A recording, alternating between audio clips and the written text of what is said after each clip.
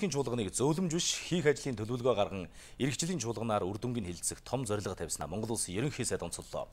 Бүс нутгийн геополитикийн асуудал, цардахлаас үүдэлтэй хөлийн хорио, валютын хомсдол, хөргөн хэрэглээний бараа бүтээгдэхүүний үнийн өсөлт зэрэг томоохон сорилтуудтай нүүр тулсан ч засгийн газар хөгжлийг хязгаарлагч хүчин зүйлүүдэд оншилж шийдэх замын зургийг шин сэргэлтийн бодлого гэж тодорхойлсон.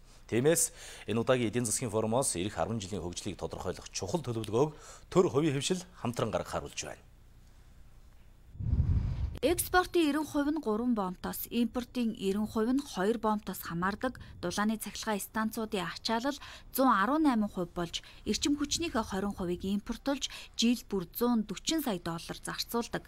Нийт нутгийн тэг 10.3%-д нь хүн амынх нь 50% нь амьдардаг, байгалийн баялагын 90%-ыг боловсруулалгүй гаргаж, дотоодын хэрэглээнийхээ 90%-ыг импортлж авдаг нийт бэлчээрийн 76% нь цөлжсөн авилгын индексээр 110 дугаарт жагсаж байгаа нь Монгол улсын хөгжлийг хязгаарлагч хүчин зүйл гэж чуулганы эндрээс ерөнхий сайд тодтогоод энэ асуудлыг шийдвэрлэхэд төр хувийн хөвшил хамтарч төлөвлөгөө гаргаж үр дүнд хүрэхин чухал байгааг онцоллоо. Эдийн засгийн форум дээр яг 10 гол ажлыг хилцэж гаргая. А тэгээд тэрэн дээр улсын хурл юу хийх үү, засгийн газар юу хийх үү, төр хувийн хөвшил юу хийх үгээд яг нэг жилийн хугацаанд тэр 10 ажлаа яс хий гэж бодож байгаа. Хэн юуг хизээ яаж хариуцдаг вэ гэдэг 10 ажлаа гаргаж авъя. Өнгөрсөн одоо эдийн засгийн форум дээр байгаа бүх дүгнэлтүүдээ бас бидний хувьд нэгтгэе.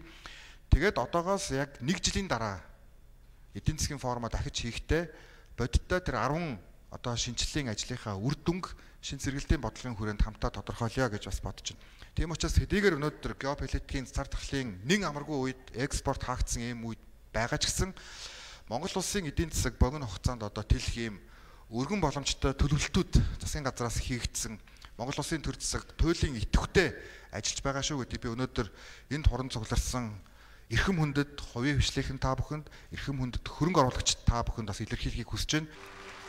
Монгол улсын ерөнхийлөгч Монголын эдийн засгийн форумд оролцогчдод мэдчилгээ илгээж 3 жил завсарласны эцэс цар тахлын дараах эдийн засгийн сэргэлтэд дэлхийн нийтээр анхаарч буйн цаг үед чуулган болж байна. Чуулганаар эдийн засагт тулгамдсан олон асуудалд шийдэл олж улс орны аюулгүй байдал тусгаар тогтнолыг хангах суурь шинжилгээ хэрэгжүүлэхэд чухал нөлөө үзүүлнэ гэдэгт итгэж буйгаа илэрхийлжээ. Гадаад орчны хүндхэн эрсдлүүд тулгарч байгаа ч дотооддоо үнийн өсөлтийг хязгаарлах иргэдийн бодит орлогыг хамгаалах, хил боомтын нэвтэн өнгөрүүлэх чадварыг сайжруулах, экспортыг богино хугацаанд сэргээх, төгрөгийн гадаад валюттай харьцах ханшийн хэлбэлзлийг докторжуулах, бүтээн байгуулалтаа эрчимжүүлэхэд онцгой анхаарч бодит үр дүн гаргах шаардлагатай байна. Мөн богино хугацаанд гол нэрийн бараа бүтээгдэхүүн, бараа үйлчилгээний үн болон нийлүүлэлтийн доктортой байдал, ялангуяа хүнс шатхууны хангамжийн найдвартай байдлыг хангах чиглэлд төр засгийн зүгээс хувийн хвшилтэйгээ хамтран хамтран ажиллах шаардлагатай арга хэмжээг нэн яралтай авч хэрэгжүүлэх нь зүйтэй юм а. Оросын албаны улс Украиний асуудал зөвхөн Монгол улс төдийгүй дэлхийн нийтэд инфляцийг нэмэгдүүлж байна. Өөрөөр хэлбэл олон улсад үүсээд буй эдийн засгийн хүндрэл Монгол шиг хөгжиж буй оронд хүнд дарамт үзүүлнэ. Дээр нь Монгол улсын өрийн хэмжээ бүс нутагтаа өндөрт тооцогдох хэмжээнд хүрчгээд байна.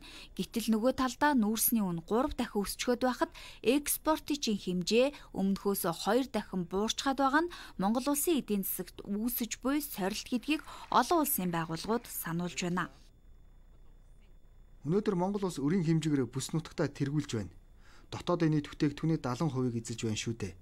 Дэлхийн эдийн засгийн нөхцөл байдал амаргүй байгаа учраас хил гайлын гацаагаа даруй шийдвэрлэж банкны салбарын шинжилгээг зоримог хийж төсөв мөнгөний бодлогоо уялдуулах шаардлагатай байна. Мөн инфляцийг докторжуулах зөв бодлого төв банкнаас хэрэгжүүлэх шаардлага үсээд байна. Өнөөдөр Монгол улс валютын хоёр ханштай албан болон албан бус ханшийн зүрх улам бүр холдож байгааг анхаарах хэрэгтэй болоод байна. Дэлхийн банкч нар олон улсын валютын санч нар бидэнд бас ямар зөвлөгөө өгдөг вэ гэхээр ханшчин бол өөрөө чөлөөтэй хөөх ёстой шүү. Зах зээлийнхаа энэ байдалтай л явах ёстой. А бидний хувьд бол бас юу гэж хараад гэхээр өнөөдрийнхөө энэ хурцсан нүүдэл буюу ковидтэй холбоотой байдал маань хэрвээ үнэхээр богино хугацаанд илэршиж чадах юм бол Монгол улс эдийн засаг бол хурдан хугацаанд хэвийн байдалд орох боломжтой л гэж харж байгаа. Харин хувийн хвшлийнхний зүгээс 6-аас 9 сар буюу богино хугацаанд үр дүнгээ өгөх төслүүдийг дэмжих хэрэгтэй гэдгийг сануулад гадаадын хөрөнгө оруулагчдад инфляц давах өгөөж санал болгох төр хувийн хвшлийн хийж хэрэгжүүлэх ажлыг тодорхой зааглах хэрэгтэйг хэлж байна. Жишээлбэл дотоодын хөрөнгө оруулагч нарыг одоо хөрөнгөний зах зээлээр дамжуулаад энэ хадгаламжийн үгээс илүү эдийн засгийн үр өгөөжтэй байвал тэгээд одоо хувьцаа гаргах, бонд гаргах хэлбэрээр дотоодын энэ олон хадгаламж эзэмсэгч аж ахуйн нэгжүүд хүмүүсийн хөрөнгө бол мэдээж иймэрхүү төслүүдийг сонирх байх гэж бодож байгаа. Гашин сугаатын бомт бол одоогийн байдлаар зүгээр хоёр талт бомтойгаа тийм учраас ер нь бол гол экспортын бүтээгдэхүүн гаргаж байгаа бомтуудыг олон улсын чанартай бомт болгох юм бол ер нь цаашдаа эдийн засгийн сэргэлтэнд бас ямар нэгэн томоохон нөлөө үзүүлэх боллоо гэж бодож байна. Бизнесүүдийн бизнесийг төр аваа хийгээд тах юм бол нөгөө том бизнесүүд чи өөрснөө дараагийнхаа бизнес рүү орохоос өөр аргагүй болчин. Тэгэхээр зэрэг нөгөө жижиг бизнесүүд чи юу хийх юм бэ гэдэг асуудал байх болно. Монголын эдийн засгийн форум салбар хуралдаануудаар үргэлжлэлээ. Студид гэрэл жулуун